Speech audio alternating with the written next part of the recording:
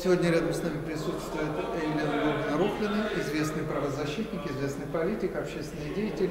Елена, э, скажите, пожалуйста, как вы считаете, перенос э, поправок, голосования по поправкам за, против, кому от этого лучше будет?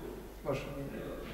Да, эти поправки, понимаете, что это вот такое страшное разводилово, это такое страшное унижение народа на самом деле, что даже те, которые никогда не подключались к бойкоту, были оскорблены, и вот наконец-то выразили свое мнение, что категорически вообще вот это, вот это, это даже не подачка, это вот загон скота, для того, чтобы он замазался, понимаете, в грязи. Вот мы замазались, а вы нас поддержите постфактом, замажьтесь.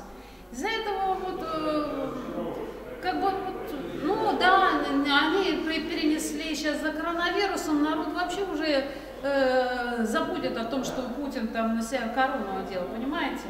Э, будет э, думать, как выживать и как э, в панике вот в этой себя находить. Вы занимаетесь вопросом по поводу заключенных, да? Не, э, помогаете им как можете? Ну, как могу, сейчас, наверное, будет все хуже, Понятно. тяжелее Тем будет менее, помогать. Вот как вы охарактеризуете то, что на недавнем брифинге в МВД, э, где присутствовал Путин, было объявлено официально, что у нас каждое второе преступление сегодня не раскрыто?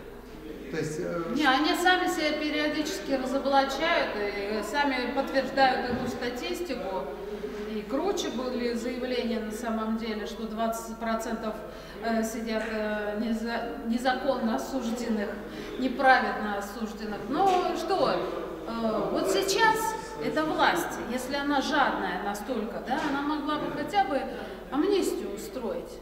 Их, блин, заключенным и просто людям, особенно что касается вот сейчас по наркотикам, насажали молодежь, надо, не надо, менты сами это все крышуют и сами же э, замазывают людей, понимаете? Сейчас власть, сейчас власть должна что сделать, если она настолько жадная, да, обобрала народ. Она сейчас хотя бы то, что ей не стоит денег, должна сделать. Отпустить большее количество заключенных и политических отпустить. Она должна пойти навстречу народу хоть чем-то. Хоть чем-то. И такой вопрос. Как вы думаете, у нас сегодня коронавирус политический или медицинский? Мне кажется, и то, и другое. Медицинский – это как биологическая война, а Э, политические, потому что эта власть воспользуется коронавирусом, и как она нас отвлекала с Украины, это будет похлеще.